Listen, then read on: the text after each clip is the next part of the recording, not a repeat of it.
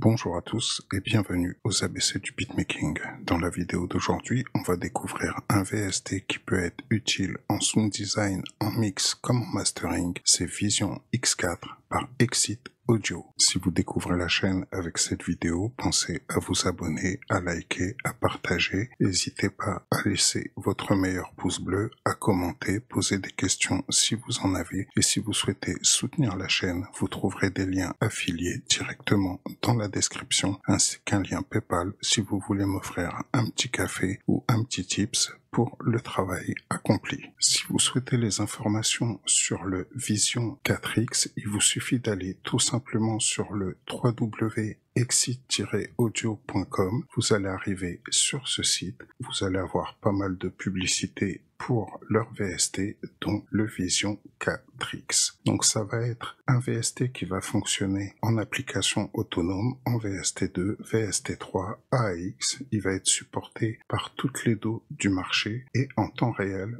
vous allez pouvoir voir un spectrogramme avec, on va dire entre guillemets, la possibilité de voir tous les points chauds par rapport à la dynamique du morceau. Ensuite, vous allez avoir un bar graph assez complet que l'on peut régler un peu comme on en a envie, la forme audio de votre son et un corrélateur de phase. Donc tout ça dans la même fenêtre que vous allez pouvoir bouger grâce à la flèche qu'on a ici, l'ensemble, pour avoir soit une seule des parties à l'écran ou tout simplement euh, redimensionner comme vous en avez envie. Donc à l'intérieur, vous avez même 17 courbes de référence par rapport à des sons du commerce, hip-hop, dance, house, etc. Bref, c'est un outil qui est assez utile. Pour moi, personnellement, il va avoir quelques manques puisqu'on va être obligé d'avoir un outil pour les mesures puisqu'il nous indique pas réellement les mesures, mais on va avoir toute la vision du son par rapport à ce qu'on est en train de faire. Donc c'est quand même un très bon VST puisqu'on a quatre éléments différents sur la même page, ce qui est assez pratique, qu'on peut redimensionner très facilement. Et il y a pas mal de réglages pour ce qui est la précision de l'outil. Donc vous aurez le lien dans la description et vous aurez aussi un lien affilié pour pouvoir acheter le VST directement sur Plugin Boutique en sachant qu'il existe en deux versions. Vous avez Vision 4X qui va être en version classique, donc vous pourrez avoir les quatre éléments à l'écran ou en version light où là vous aurez qu'un élément à l'écran. Donc normalement si on va jusqu'en bas de la page euh, plugin boutique vous allez avoir un petit tableau qui va vous donner les différences entre le full et le light. Voilà, donc comme vous voyez, il va manquer des résolutions, il va manquer euh, certaines choses, mais ça reste un excellent outil. Donc maintenant, on va aller voir ça directement dans Reason pour voir un peu la mise en œuvre du VST et comment l'utiliser. Donc là, on se retrouve dans Reason où j'ai commencé une petite composition. J'en suis vraiment euh, au tout début. Vous voyez, il y a, 8 mesures qui va nous donner quelque chose comme ceci.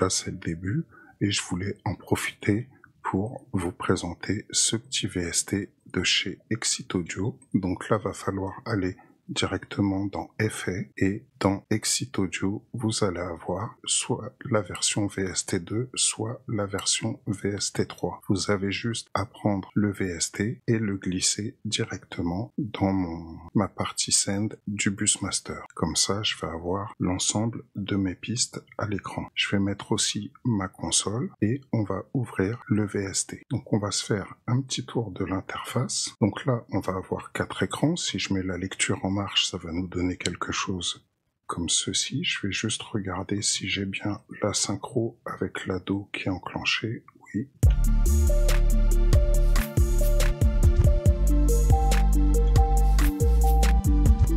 Donc là, comme vous voyez à l'écran, ici, on va avoir la partie spectrogramme qui va nous permettre de voir les points chauds par rapport au kick, au bass, au snare Bien sûr, on peut améliorer les réglages, on va voir ça tout à l'heure. Là, vous avez la partie bar graph qui va vous donner un peu la tenue du son sur l'échelle de 20 000 à 30 Hz et Ici, on va être sur une échelle de moins 10 à moins, euh, je sais pas combien, moins 80, je pense. Mais tout ça, on peut le régler directement dans les paramètres. On va avoir aussi la partie corrélation de phase qui va être ici la vue du son dans l'image stéréo. On a un petit vue-mètre ici assez succinct et la partie de la forme d'onde. Donc après, on peut isoler chacune des parties indépendamment les unes des autres suivant ce qu'on veut faire. Ici, on va avoir une petite roue crantée qui va nous permettre d'accéder directement aux différents réglages que l'on peut faire à l'intérieur. Donc si par exemple vous avez envie de changer la couleur ici, on va avoir différentes couleurs. Hop, par exemple, là, si je mets Fire, Magma, Hitmap, moi c'est celui que je préfère pour travailler. Ensuite, je peux faire en sorte d'augmenter la précision pour mieux voir les kicks, les basses, bref, on a énormément de réglages. On peut jouer aussi au niveau du spectrogramme. Sur la plage sur laquelle ça va travailler et aussi sur le nombre de décibels sur lequel on va bosser. Après, on va avoir la partie synchronisation et défilement qui vont nous permettre euh, d'ajuster la vitesse par rapport à notre façon de travailler.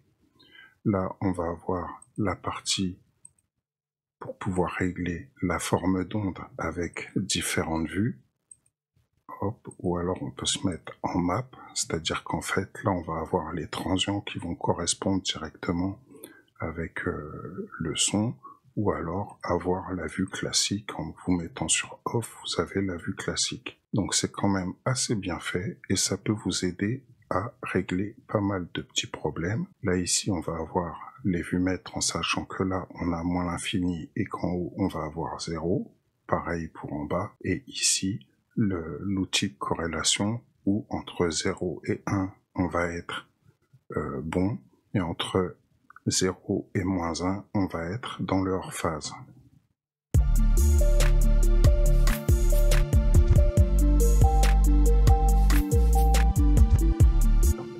Après, on va avoir la possibilité aussi de pouvoir sauvegarder des réglages.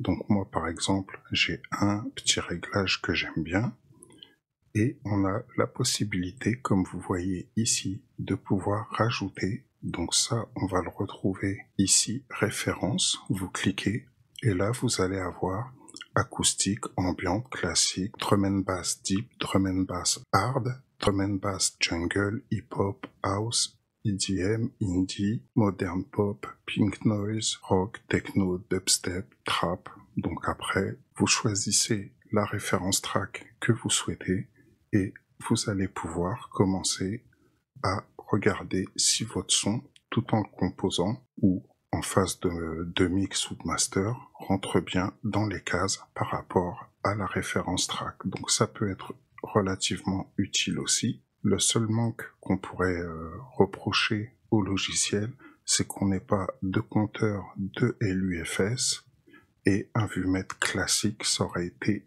relativement cool à notre époque où tout le monde veut avoir euh, bah, les compteurs, euh, les compteurs LUFS et compagnie. Mais déjà, pouvoir travailler comme ça, je trouve que c'est pas mal. Et après, pareil, toujours dans la partie configuration, on peut faire donc mettre en synchro ou pas et faire des rotations du système.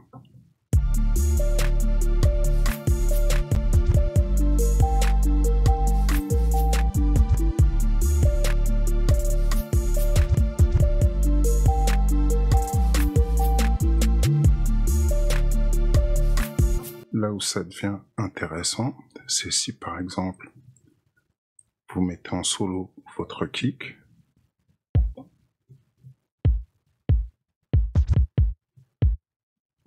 vous allez avoir l'image spectrale du kick et aussi la wavefrom. Alors après, la wavefrom, on peut très bien se mettre en off ici comme ça et on a une image qui va être bien plus détaillée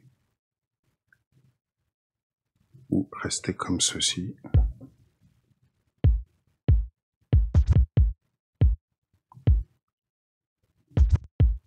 On peut réduire la vitesse si on en a envie. Donc là, il vous suffit d'aller directement ici dans multiplier.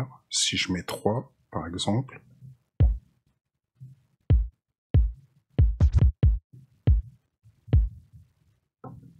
Après, si je rajoute ma basse, ça va me donner ceci.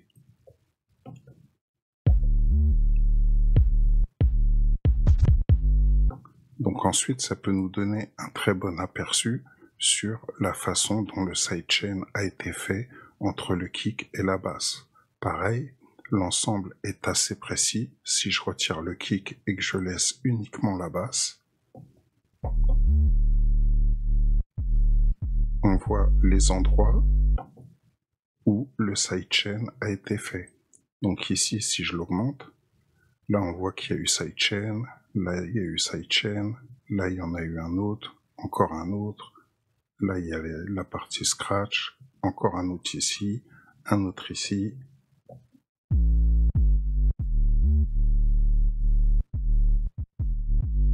Si je remets le kick,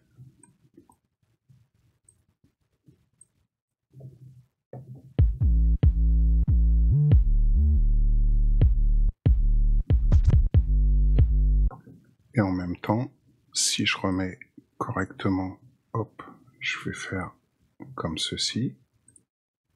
Le vumètre.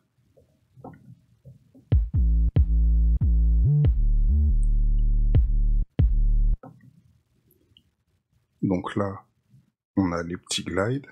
Et ici, on voit bien le kick qui vient frapper avec l'enchaînement direct avec la basse. La basse seule kick seul, hop, kick and bass, glide, kick and bass.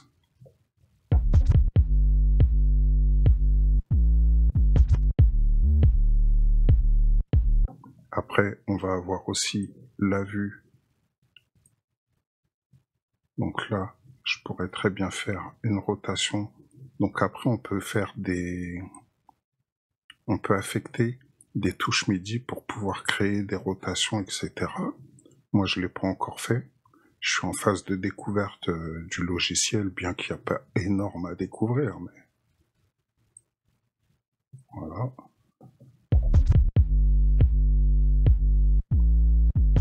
Et bien sûr, on a les couleurs des points chauds qui sont en corrélation en fonction du morceau. Après, si par exemple, je mets uniquement les drums,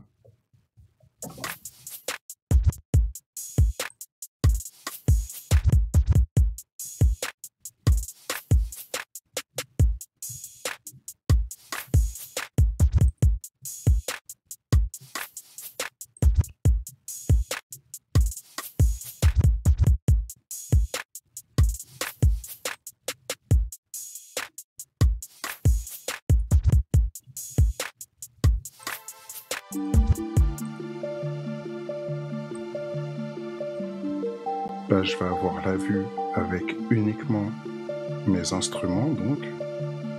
Donc on voit sur le spectrogramme comment ça se répercute. On voit ici au niveau de fréquence comment ça se répercute et ça me laisse la place pour le kick, la basse. Donc après, je peux rajouter les drums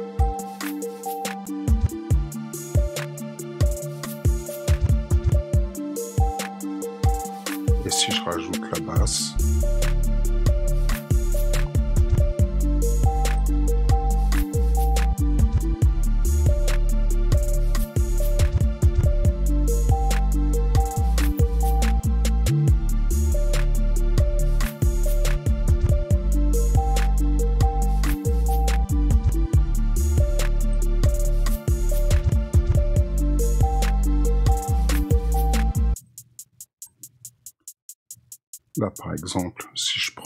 que mes hi-hats, je vois bien que j'ai mon passage droite-gauche puisqu'ils sont panés. D'accord? J'ai créé un autopan sur les hi-hats et ici, je suis euh, bon au niveau de la corrélation de phase. Je vois sur mon image jusqu'où ça intervient au niveau euh, de mes fréquences. Donc là, je suis jusqu'à 4000 Hz et tout le reste, ça me laisse la place pour mes autres instruments.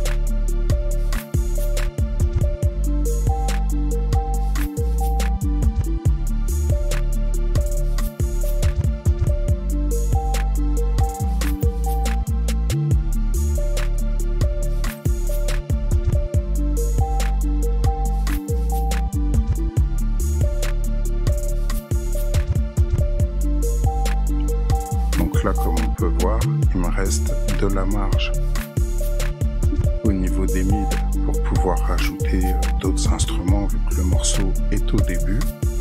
Et en bleu ici, j'ai tout simplement la référence track hip-hop qui me permet d'avoir euh, un repère visuel pour pouvoir faire mon mixage.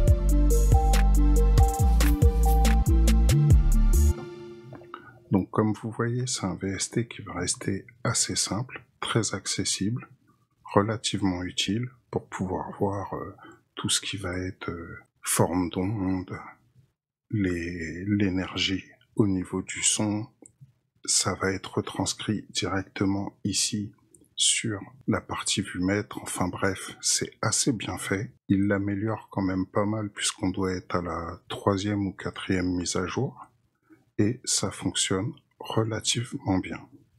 Donc c'est un très bon analyseur de spectre si vous en cherchez un.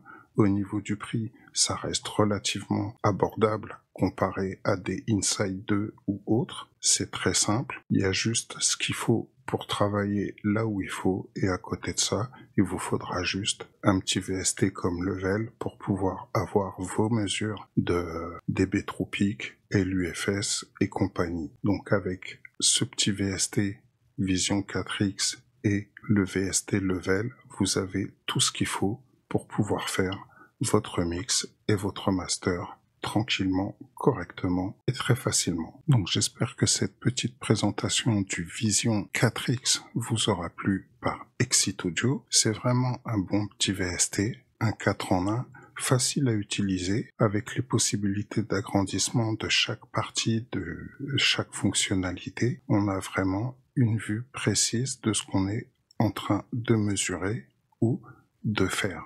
Je trouve que c'est euh, un très bon compromis et comme je le disais, le Vision 4X couplé au VST level de chez Mastering de Mix et vous êtes au top pour pouvoir faire vos petits mix et vos masters en toute tranquillité, votre sound design et tout. Donc laissez-moi ce que vous en pensez dans les commentaires et je vous dis à bientôt pour un nouvel épisode des ABC du beatmaking. Salut salut